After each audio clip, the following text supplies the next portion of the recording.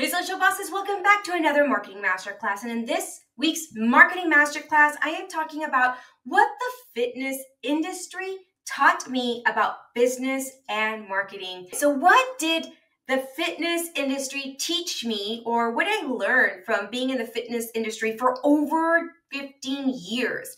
So most of you that don't know, my background, if you're new to who I am, I'm J Franco, known across all of social media as the Profitable Social Boss, and I help entrepreneurs, solopreneurs, coaches, consultants, service providers to build and market a profitable online business. Now, for those of you that know me now as that role, you don't know that years ago, I was actually in the fitness industry for at least 15 years, if not more, if not maybe about 20 years. And in the fitness industry, I had several roles. I started off as a personal trainer, then I started off doing meal prep, and then I had a boyfriend who wanted to compete. So I, you know, uh, studied to get my nutrition certification, got him on that and on his first stage. And through that, I found my passion of doing makeup for competitors. And throughout all of that, I was just enamored by the entire industry. And I literally elevated myself to one of the most sought after makeup artists in the industry to the fact that even now, I still get emails about people asking me if I'm doing a specific show, if I'm going to be there providing makeup services with me and my team. I grew my team so big, and it was through marketing and it was through acquiring freelancers to travel with me all over the United States, literally like all over across the world, uh, legit across the world, Brazil and everywhere else. And I had my team and I built an incredible team. But throughout the process, I learned some things, some key things about these competitors that I became friends with and that led me into their personal and private lives. Not only that, but I saw their trajectory as an athlete. And one of the number one things that I learned about business and marketing from the fitness industry is that the athletes that were the most successful and the athletes that were on top, you're talking about the top five Olympians, you're talking about girls placing and qualifying for the Olympia and for the Arnold Classic these girls and these athletes all had a coach. Number one thing that I learned in business and marketing is that you've got to have a coach.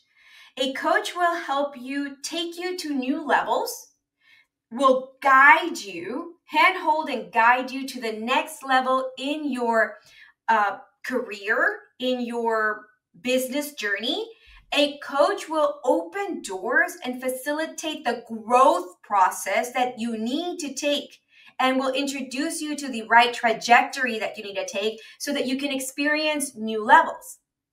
I noticed that the girls that were doing everything on their own just never got anywhere. Then, here's the kicker, guys. Here's the kicker. Those same girls that didn't have coaches were the first ones to complain that a, oh, it's so political. It's so political. It's who's your coach and who you know and and who and and and how many judges you know and all that stuff. It's so political.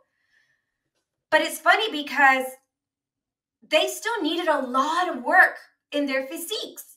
They still needed a lot of dialing in and they needed someone subjectively looking at them from the outside to develop strategies for them to take them to the next level. It's very similar in marketing. In marketing, you can do all the things by yourself in your own business, specifically marketing and social media. You can do all of those things by yourself. But the minute that you get a strategist or a marketing coach and you start learning how to do it correctly, you start seeing more leads being generated. You start seeing new levels in your business open up. It was exactly the same thing that I saw in the fitness industry. In the fitness industry, the girls that did it themselves, that did their own makeup, their own hair, their own training, their own dieting, their own dialing in themselves for competitions, those were the girls that were the bottom of the barrel. Now, every once in a while you saw this like unicorn stand out where some little homegrown girl had done everything herself from her makeup, her shoes, her everything, her bikini, everything. And she happened to be a unicorn. And that's where every single coach just wanted a vulture on that poor innocent soul and literally like snatch her up and say, I want you part of my team because I could take you to that next level. Yes, there are businesses out there that when you start this concept or this novel idea, right, uh, you will come across being a unicorn. If you're a coach, there's a million life coaches out there, a million life coaches. There's a million finance coaches. There's a million of everything. But once in a while, you find someone that decides to niche completely in a very unique way and in to an audience that is completely undeserved and not only that, but ignored. And all of a sudden you've got this unicorn that appears out of nowhere and and you're like, wow, that person has had exponential growth in their business. It could have been their product, it could have been some novel idea, it could have been a niche that they discovered that was underserved and and literally like people weren't even didn't even care about these people. It could be any of those factors that created a unicorn in the business sphere and cause this business to rise faster than everybody else. It's very similar to athletes where all of a sudden they compete and it's their first competition, but they just have the genetics. They just have the presence, the poise, the everything, the it factor.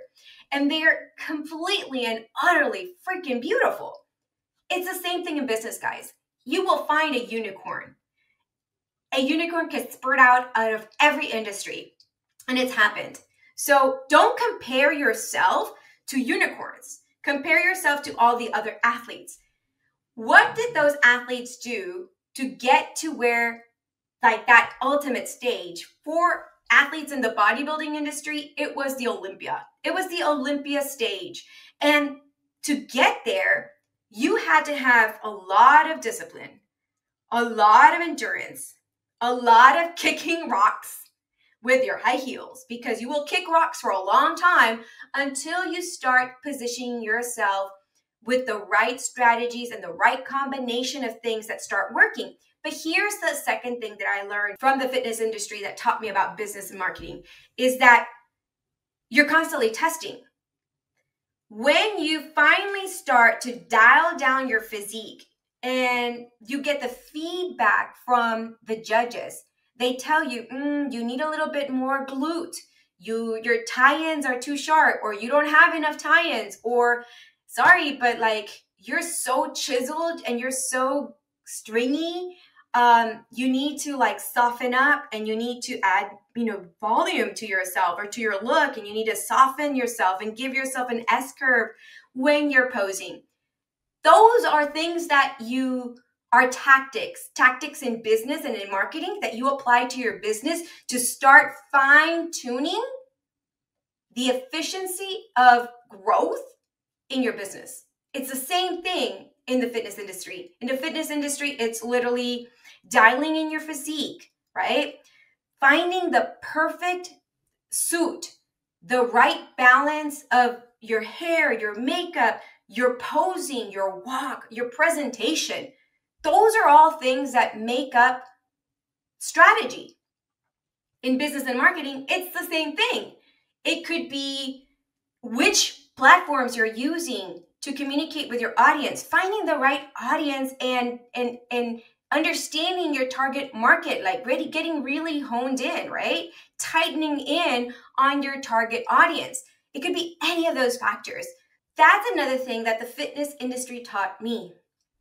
A third thing that the fitness industry taught me is that to be on top, I had to have a coach, meaning that remember when I was talking about like the unicorns and the homegrown and doing things on your own and not hiring the coach and thinking it's political? It's not the fact that the industry is super political.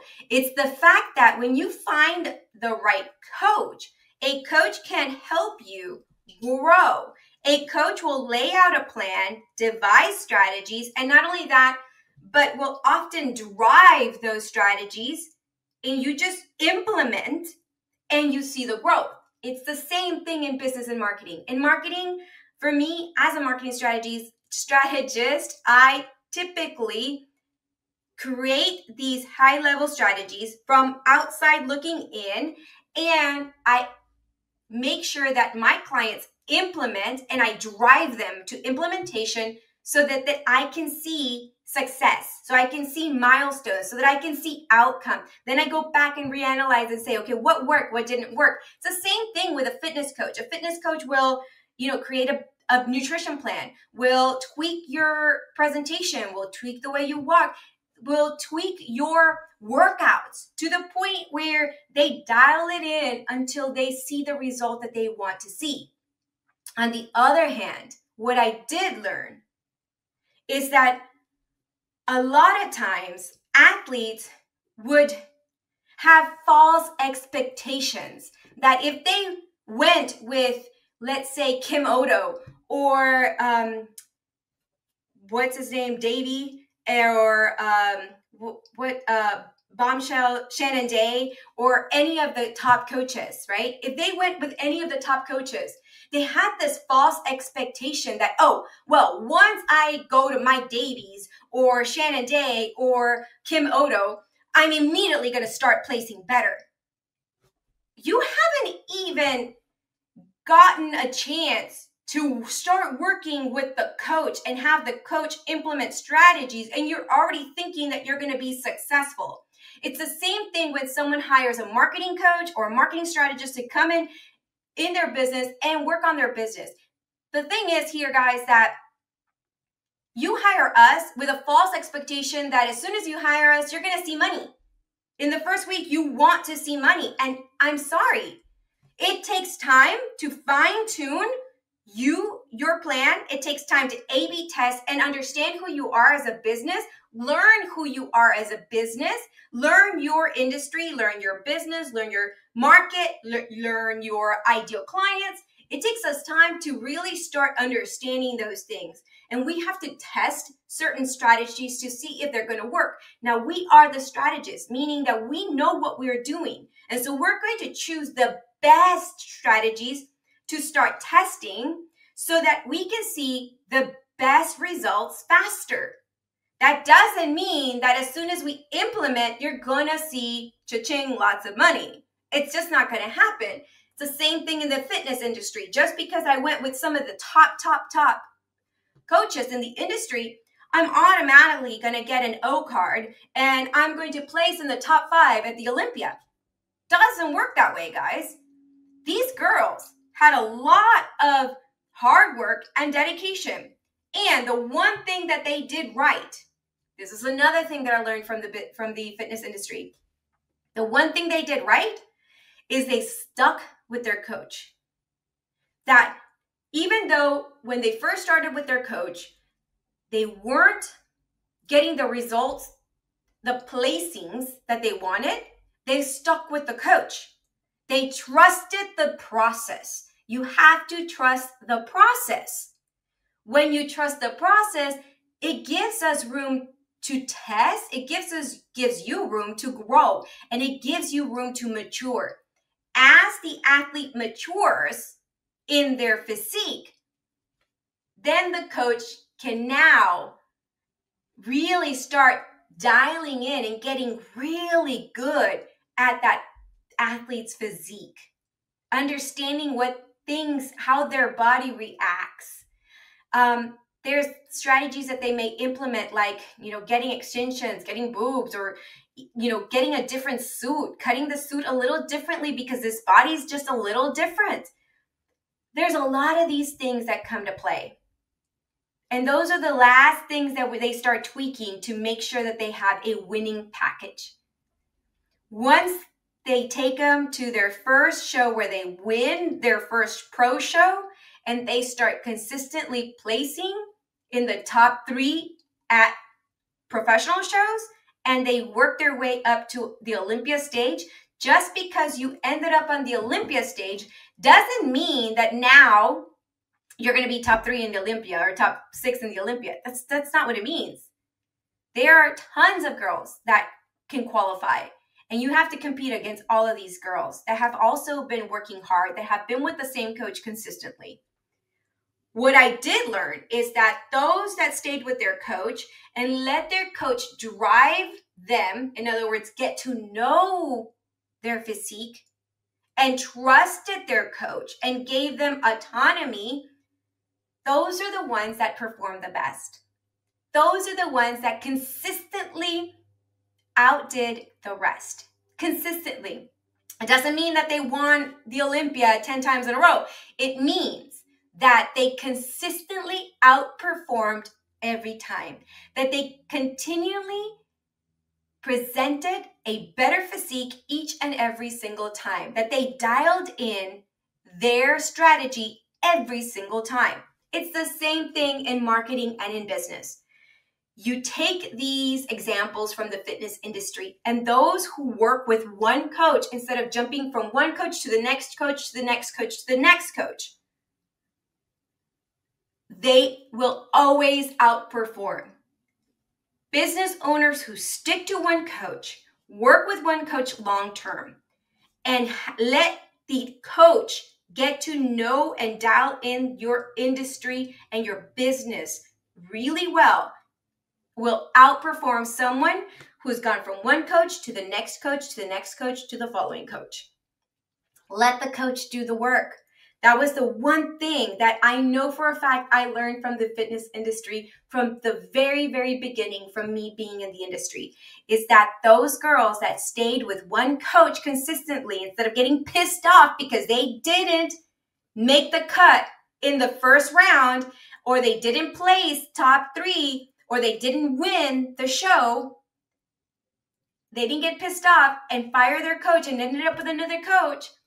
Those are the girls that were consistently performing. Those are the girls that are still in the game. Those are the girls that, even though year after year after year after year has gone by, they're still in the top 10 of the world's greatest athletes in bodybuilding.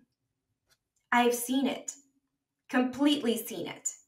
Look at the Olympia um, bikini competitors. It's just one a, a, week or two ago, or so, several weeks ago. And those are the girls that have been there consistently. There's been a lot of girls in the O this past year that competed at the O that have consistently showed up, that have used the same coach, that have really developed those strategies. It's the same way in business. In business, hey, sometimes you do you do well and sometimes, you know, you you hit the mark, but you didn't have this crazy exponential growth like you thought you were. But you hit it. Some of you guys hit it and quit it thinking that going to a another business another coach is going to actually get you to the next level. The only thing you're doing is setting yourself back because now this coach has to learn your business all over again from scratch. Where this person over here has all the insight that they need to take you to the next level. So, those are the three things that I learned from the fitness industry that you can take now and apply to your business, to your journey as an entrepreneur. It's about being consistent, it's about getting a coach, and it's about understanding that you have to bring in all of the strategies. You have to constantly test. You have to be committed to the long term process to be on top. It's that simple, guys. Stay with your coach. Go grab a coach. Go get one. Stay consistent. Stay on the course. If you need a marketing strategist to help you, to coach you your way to success in marketing, I mean, yes, shameless plug over here. Definitely give me a call. But whoever it is, stay the course. It's not just the same with fitness, with business, with marketing, it's the same with ads as well. Stay the course with ads and you'll see it. You'll be able to fine tune your ad strategy, see what's working, turn off ads that are not, you know, change your audiences, change your graphics, like constantly test to see so that you can start identifying the best performing ads. It's the same across anything in life. Stay the course, be okay with doing the work, and stop creating false expectations that once you have a coach or once you have a strategy that all of a sudden you're going to make things happen and make yourself a millionaire overnight. Rome wasn't built in a day, guys, and neither can your business. Your business cannot be built in a day, and your business cannot be dependent on you hiring one coach with one strategy and you didn't even give them the time or the chance for them to understand your business and then now you're going to jump to someone else. So I'm sorry, you cannot be changing architects in the middle of building a foundation. And that's literally it. That's what I learned from the fitness industry. Those are the three concepts that I learned. And I'm telling you, I am so grateful that I was a makeup artist and that I got to see all of this going on in the background. But it taught me some of the best lessons that I'm applying in my business today. I got a coach and I'm sticking with her. And not only that, but I know that my coach is driving my business. I'm giving them the trust and I'm letting go for them to implement those strategies to take me to six, seven, and eight figures because I they've successfully had six, seven, and eight figure businesses and taken businesses to their first million and their first 10 million. So I need to be trusting of those coaches that they know what they're doing to take me to the next level. Am I saying be completely blind and say do whatever you want? No. What I'm saying is trust the process. It may be a long one, it may be an arduous one, it may be one where you're going to have to have a lot of discipline, but I promise you that the outcome is fabulous. I mean, it's I've truly enjoyed my time with my coach. And I've hired two coaches this year.